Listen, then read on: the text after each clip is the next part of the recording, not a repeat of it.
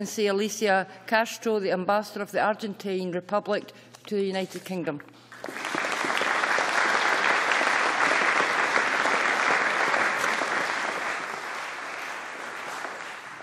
We now move to First Minister's questions. Question number one, Kezia Dugdale. Presiding Officer, I know that I speak for all sides when I say that the thoughts and prayers of everyone in this chamber are with the family of Bailey Gwynn, who was stabbed and killed at a school in Aberdeen yesterday. We offer our full support to the parents, pupils and staff at this tragic time. Can I ask the First Minister what engagement she has planned for the rest of the day? First Minister. Presiding Officer, may I begin today by expressing my shock and sadness at the incident which occurred yesterday at Cults Academy in Aberdeen. I also want to convey my deepest sympathy and condolences to the family and friends of Bailey Gwynn, who tragically died in the incident. While the circumstances of this young man's death are subject to ongoing and thorough police investigation, I'm sure that the whole chamber will want all those who loved Bailey and indeed all those at the school who have been affected by this tragedy to know that our thoughts are very much with them at this desperately sad time. Uh, later today, presiding officer, I have engagements to take forward the government's programme for Scotland. I appreciate that statement from the First Minister and know that she will be as shocked as anyone by this incident. Presiding Officer, I have four questions here and I will use most of them to hold the Government to account in the normal way. But I'd like to use my first question to ask about the death of Bailey Gwynn. We don't know all the details of the case yet, but there are countless families across the country who will feel this pain and sorrow today. It's every parent's worst nightmare, sending their child off to school in the morning only for them never to return home again. Can the First Minister reassure parents right across the country that everything that can be done is being done to keep our children safe? First Minister. Uh, yes, indeed, of course, uh, I can and should give that assurance. Um, the Chamber may want to know that I have this morning spoken to the leader of Aberdeen City Council to offer our sympathies and condolences, but also to convey directly to her that any support and assistance that the Council uh, or the school needs from the Scottish Government in the days, weeks and months ahead will be forthcoming. You know, incidents like this are deeply shocking uh, and deeply tragic, and the impact on the lives of those who knew and loved Bailey Gwynn are impossible for any of us to imagine.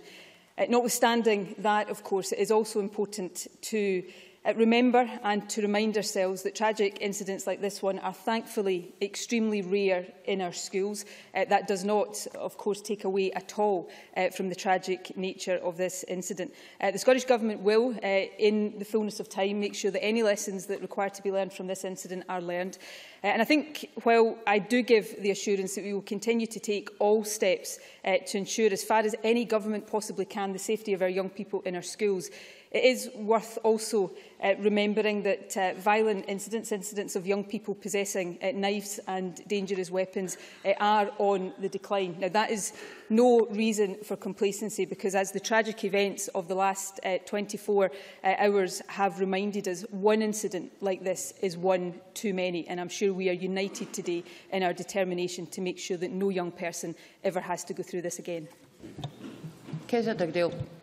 Can I thank the First Minister for that very welcome and fulsome reply? Presiding Officer, I'd like to turn now to the question of student finance.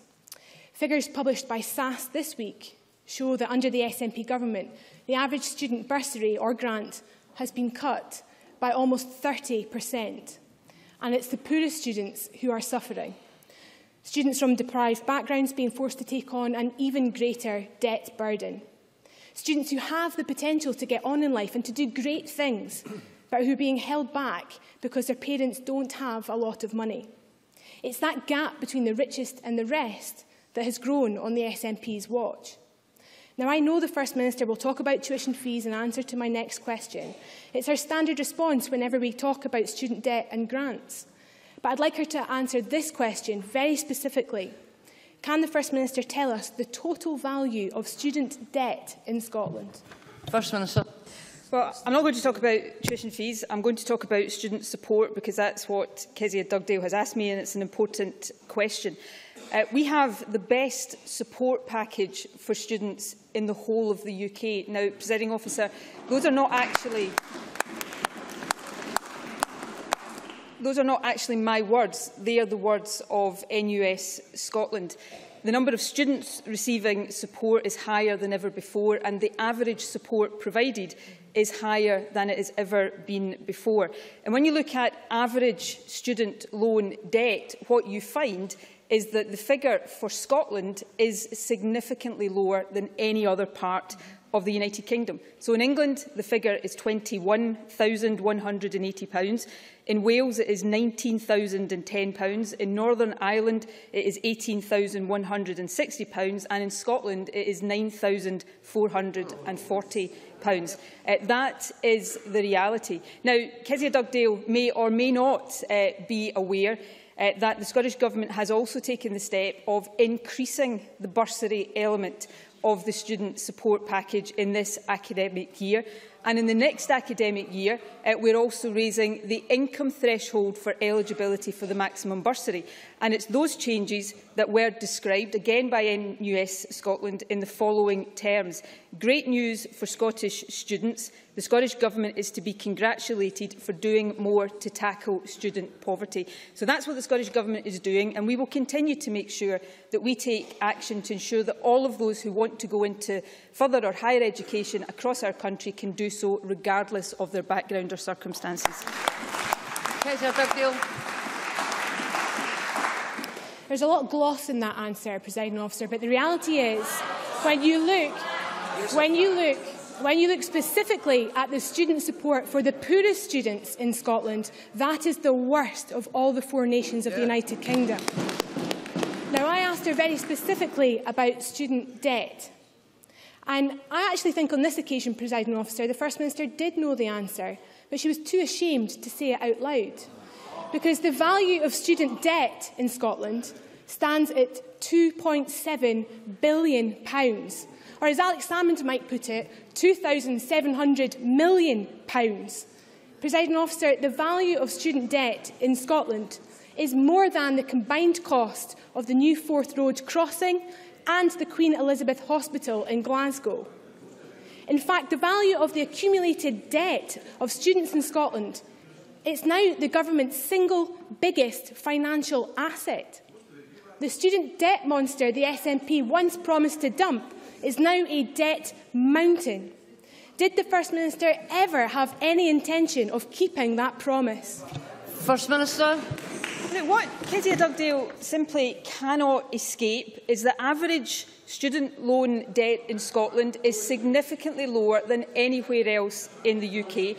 And Scottish domiciled students, and here I will talk about tuition fees, do not have to pay fees of up to £27,000 uh, charged for tuition elsewhere in the UK. That is a real saving that doesn't become a debt in Scotland in the way it does in other parts of the UK. And currently, if the least well-off students in England and Scotland uh, took up the maximum amount of student loan available to them during the term of their degree, English students would accumulate debts of around £12,000 more than Scottish students. That is the reality. Uh, we have the best student support package in the UK average student debt in Scotland is less than it is in any other part of the UK.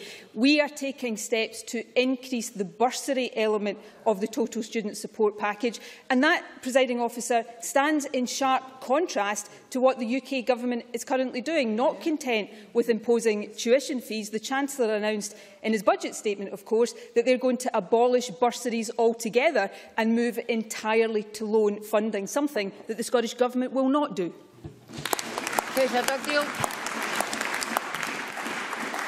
President, Presiding Officer, that's all from a First Minister who told students that their debt would be zero. Yeah. Judge me on my record, we were told by the First Minister. So here it is. The reality is that today it is easier to be poor and get to uni in England, even under the Tories, than it is in Scotland under the SNP. I heard cries of shameful. Yes, it is shameful. She promised, she promised to abolish student debt. Instead, it has increased. She promised to expand grants. Instead, they have been cut. Isn't it the case that despite all the promises and all the moments of self-congratulation, the SNP government is letting down Scotland's poorest students? First Minister. Well, firstly, as I just said, and I think both of my previous answers, we've in this academic year increased the bursary element of the student support package.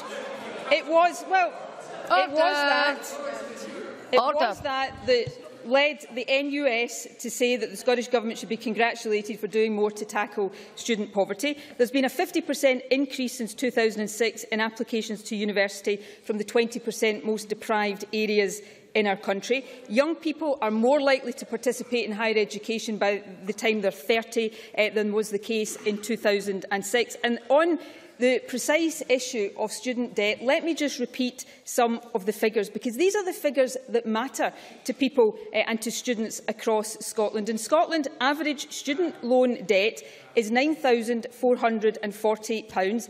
In England, it is £21,180. And in Wales, which the last time I looked was governed by a Labour administration, average student loan debt was £19,010, uh, double almost what it is in Scotland. So we live in tough financial times, presiding officer. Everybody knows that, and tough choices always have to be made. But we will continue to make sure that we are providing good support for our students so that more of our students from the most deprived parts of our country can take the opportunity to go to university. So we'll continue to get on with the job and, as usual, we'll leave Labour, regardless of what we do, to moan about it and whinge from the sidelines. Question number two. Ruth Davidson. Thank you, Presiding Officer. Can I add the condolences of myself and my party to those that have already been expressed by the First Minister and the whole Parliament to the family and loved ones of Bailey Gwynn. Our thoughts and prayers are with all those who have been affected by this terrible tragedy. Could I also ask the First Minister, Presiding Officer, when she'll next meet the Prime Minister? First Minister. Uh, I have no plans in the immediate future. Ms Davidson. Thank you. Presiding Officer, we've just heard a, a series of quite serious exchanges uh, regarding funding and access to university. But in none of those exchanges did I hear a credible alternative plan on how we fund bursaries for poorer students and ensure the wider access we all say that we want. So here's one. Under our plans, we would ask all graduates who'd enjoyed their university education to pay back a contribution once they'd got a decent job. That money could then be used to help increase bursaries Order. for poorer students who, under the current scheme, can't even get a foot through the door. This plan is sensible, it is moderate, and it would help those most in need. Can I ask what reason, other than an ideological one, would this First Minister have for not considering it? First Minister. Right, you know, credit to Ruth Davidson. She's putting forward her policy, which is to, to, support the introduction of tuition fees, and she is absolutely entitled to put that before the Scottish people at the election in a few months' time and allow them to cast their verdict on it.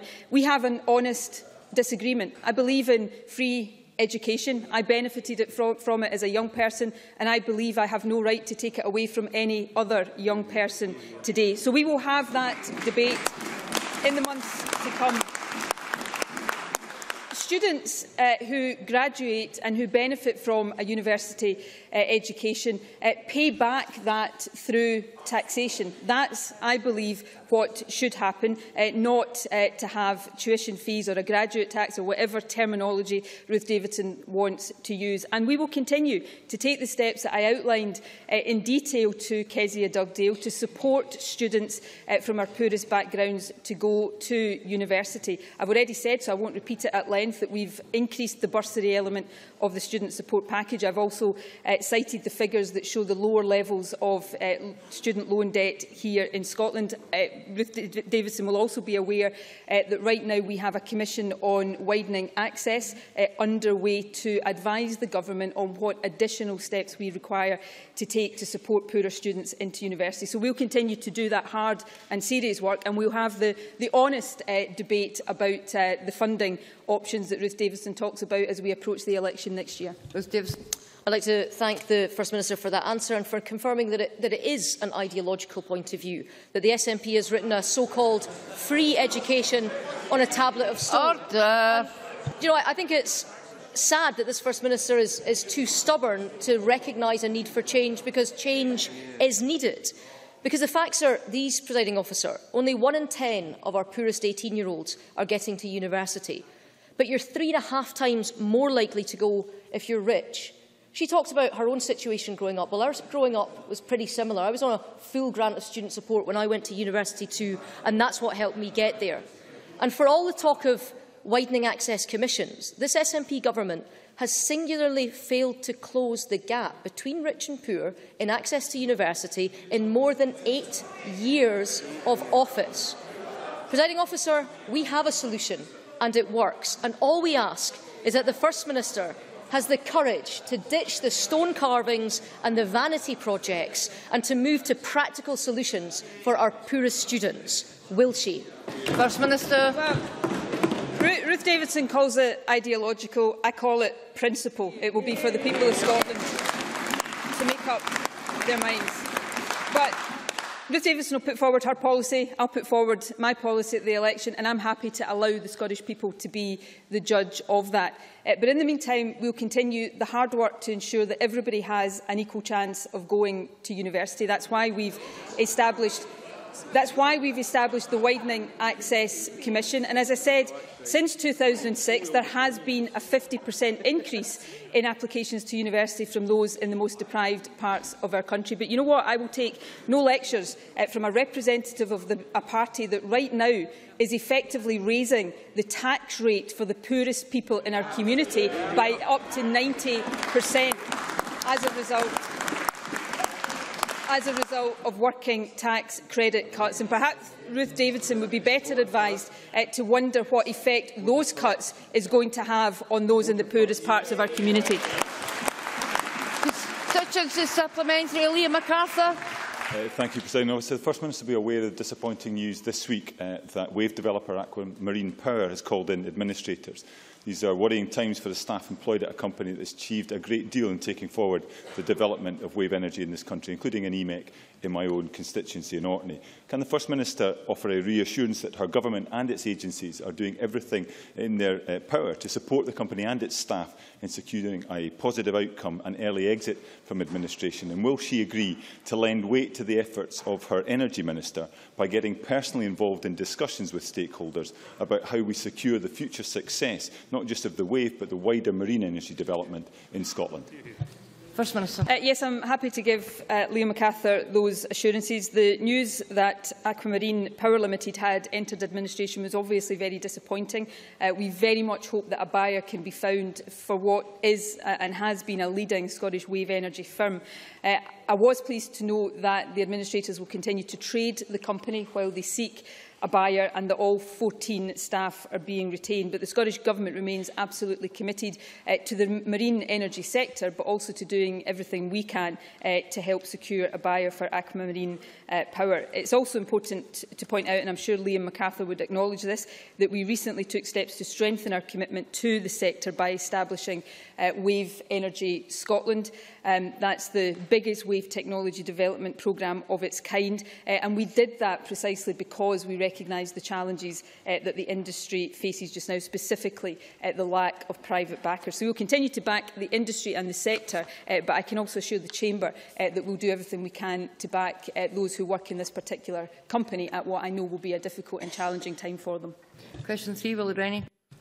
Uh, thank you, President Officer. I'm sure we all appreciate the way that the community has rallied round in Aberdeen at, following the horrific circumstances at Cults Academy.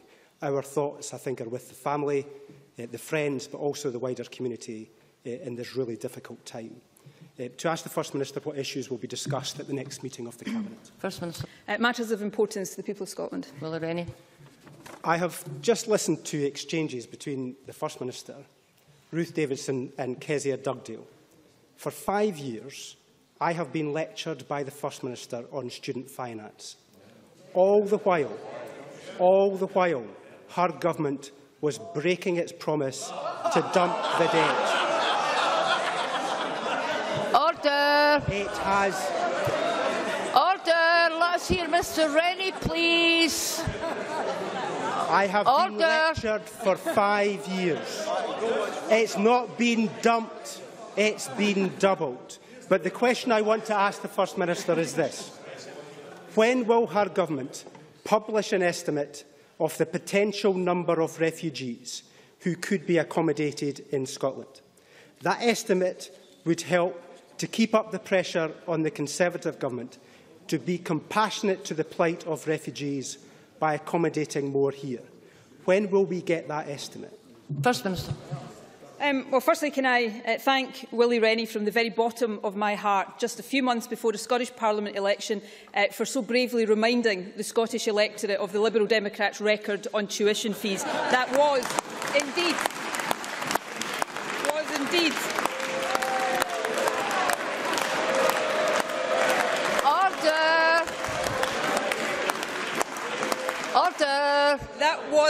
indeed a most charitable thing for him to have done. But on the very serious and important matter of uh, refugees, I'm very happy to ask Humza Yousaf to update Willie Rennie directly on the work of the task force that I established. But in short, our position here in Scotland is, as it has been from the outset, uh, we want to, are willing to and are preparing to take a proportionate share of the number of refugees that come to the United Kingdom. Now, clearly, uh, the number that are permitted to come to the United Kingdom is not something within uh, our control. That's something that is determined by the UK Government. The Prime Minister has said uh, that 20,000 over the life of this Westminster Parliament will be uh, admitted from the camps around Syria. We are arguing arguing for uh, that number to go higher and for it to extend not just to the camps around Syria but to uh, refugees who have already made the journey to Europe. The task force is ensuring that everybody uh, who needs to be involved in this are working together to make sure uh, that we have plans in place to accommodate uh, refugees. Uh, we don't know yet uh, precisely the numbers uh, and the profile of that 20,000 that has been committed to already. Uh, we would, I think, expect to see some refugees coming to Scotland uh, before Christmas and we're working very hard to make sure that we can accommodate them and look after them properly. Willie Rennie. Just for completeness on student finance, we will... We Order! Will, Order, let us hear Mr Rennie, please. We, we will take every opportunity to remind people that this government promised that it would dump the debt, but it has doubled the debt. We will take every opportunity to remind people. But on refugees, we need... Well, it's all well and fine for people to laugh about refugees, but I think they will not find it uh, difficult in these circumstances. Order! We, we need an estimate. We need an estimate of how many Scotland could take. But her minister said to us this week that he had prepared no such estimate after months on the job. The First Minister has said Scotland will take its Barnett share of your refugees. But surely, but surely we should be more compassionate than a technical accounting rule when lives are at stake. I think, I think the members should listen to this very serious I think, Mr Rennie, you should just get on with it.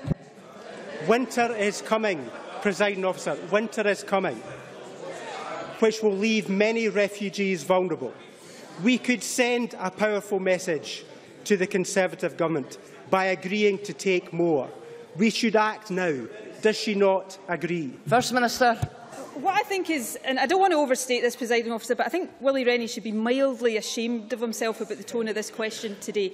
Willie Rennie, to his credit, as did uh, Kezia Dugdale and Ruth Davidson, sat around the table at the summit that I convened a few weeks ago. And, you know, I think we uh, agreed there a degree of consensus about the approach Scotland would take. I'm not setting some technical Barnett share. I want Scotland to do as much as possible. But it has been, I think, an appropriate starting point to say that we would take a proportionate share of the refugees uh, that come here. That's why we are focused just now on the work that would support around 2,000, which is a proportionate and reasonable share of the 20,000 that David Cameron has said will uh, be admitted to the UK over the life of this Parliament. But I'm also saying I would like to see the Prime Minister go further than that, go further than that in two ways. Firstly, in terms of the number, and secondly, in terms of the reach of that programme. Now, I think that is the appropriate way uh, to behave, to argue for a, a more expansive approach from the UK Government, but to do the hard work, which Humza Yousaf is leading just now, to make sure that we have the practical preparations in place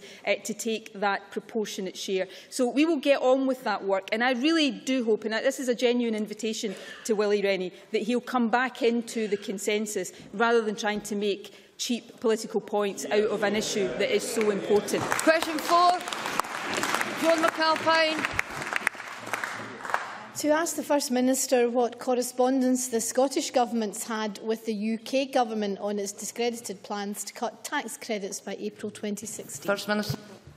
Uh, the Deputy First Minister wrote to the Chancellor in early July to set out the Scottish Government's concerns about the UK Government's plan to cut tax credits. On July the 20th, the SNP, together with Plaid Cymru, the Liberal Democrats and the Greens, voted against the second reading of the Welfare Bill. Uh, Labour Party in that vote abstained. Uh, on the 23rd of October, the Cabinet Secretary for Social Justice wrote to the Secretary of State for Work and Pensions, again voicing our serious concerns about the proposed reductions. And I would take this opportunity again today, presiding officer, to urge the Chancellor to think again and to abandon a misguided policy that will penalise hard-working families across Scotland and the UK. Yeah. Can I just take this opportunity to remind members that you should keep to the words that are actually on the order sheet and not add additional words to it? Joe McAlpine. Thank you very much. Uh, can the First Minister offer the Chancellor any advice on how he should proceed with his discredited plans to cut tax credits to working families now that he has been told to go back and think again? First Minister. Well, I think he should abandon those plans. Uh, I don't believe they are right, but I also don't believe they are necessary. Uh, George Osborne has said uh, on a number of occasions this week he's in listening mode, but if he is genuinely serious about listening, he will admit that he's made a serious mistake here and reverse uh, these damaging proposals. Uh, the analysis the Scottish Government uh, has done of the impact of the proposed uh, changes show that a quarter of a million working households and tax credits could lose an average of £1,500 a year just from the changes to be brought in next April. In the longer term, if the full set of cuts are implemented, low-income households with children could lose on average around £3,000 a year. I think uh, these changes would be unconscionable, uh, presiding officer, and I hope very much that the Chancellor uses his autumn statement and the comprehensive spending review to say that he is not proceeding with them. Question 5, Jenny Mara. To ask the First Minister whether a reduction in the number of training places for nurses and midwives has contributed to the rise in agency nursing costs, as highlighted by Audit Scotland. First Minister. Uh, under this government, the number of qualified nurses and midwives working in our NHS has gone up by over 2,200. Uh, that's an increase of over 5% and it takes the number of qualified nurses and midwives in our NHS to historically high levels. On the question of agency, nurses. Uh, when we took office, there were 728.2 whole-time equivalent agency nurses working in NHS Scotland. In 2014-15, this had been reduced to just 191 whole-time equivalent nurses. That's a reduction of 73.8% in agency nursing under this government. Jenny Mara. Presiding officer, the First Minister says that after eight years that we should judge the SNP on their record. Well, Audit Scotland... Audit Scotland last week passed judgment on her record. The First Minister herself took the decision to cut training places when she was Health Secretary. Scotland's nurses have told us the consequences, quadrupled agency spend from £3.9 million to 16 million pounds. This mismanagement led her to the damning report card she was given last week. Presiding officer, after eight years in government and her failure to address previous warnings, does the First Minister now agree with Audit Scotland that we need fundamental change in how we deliver and staff our health service? First Minister. Of course, it is this government that's coming forward with those change proposals from the transformation in primary care through to the expansion of elective treatment centres. This is the government that's getting on with the job. But let me turn to uh, nurses uh, and nurses in training. Num the number of nurses in training has been on average 1,000 a year higher under this administration than was the case under the Labour Liberal administration. There are 2,200 more qualified nurses working in our NHS today than when we took office. The vacancy rates are broadly the same. They were 3.6% when we took office, 3.7% now. Agency spend is lower than when we took office. Uh, Jenny Marra cites the figure of £16 million. Pounds.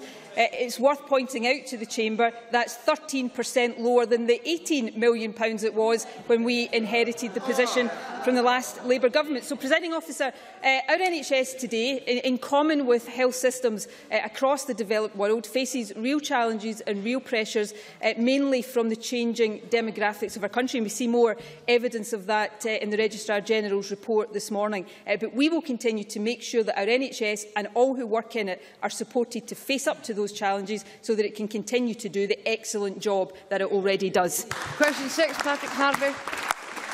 Thank you, Presiding Officer. May I associate the Green and Independent Group with all of the comments made regarding the tragic events at Cults Academy? And can I ask the First Minister what proportion of the labour force has a secure job that pays at least the living wage? First Minister. The latest figures show that over 80% of employees in Scotland are paid at least the living wage. Uh, this represents a higher proportion of the workforce than anywhere else in the UK outside of London and the south east of England. There are now over 370 uh, Scottish-based living wage accredited employers, with workers from a variety of sectors across Scotland benefiting from the progress that is being made. Uh, that's good progress, presiding officer, but there is no room for complacency. We want to see the living wage extend even further. Uh, next week, of course, is Living Wage Week. As part of that, uh, my ministers and I will be promoting the living wage at events throughout the country, and I would encourage MSPs from across the chamber to do likewise. Patrick Harvie.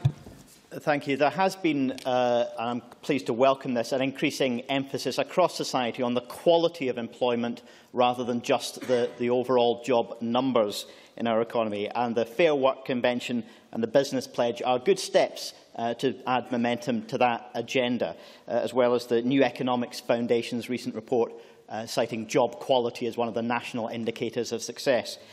But we do still provide business support services and grants from the Scottish Government uh, which are contingent mostly on job numbers, headline job numbers, and don't place the same emphasis on job quality. Isn't it time to start putting every bit as much emphasis on job quality when we decide on the eligibility for government support services and grants paid for by the taxpayer? First Minister. I think Patrick Harvie raises a fair point, and through the Fair Work Convention and the approach we're taking through the Business Pledge, of course, we will continue to consider uh, issues like that. I also think for people uh, out there across the country, job numbers do matter, but he's absolutely right to say that the quality of work matters as well. Uh, we want to see uh, more full-time work for people who want it, uh, rather than uh, people being in jobs where they're working fewer hours than they would like to work. And we want to make sure uh, that people in jobs are being paid a decent living wage, they, they have good working conditions, they're respected and, and well rewarded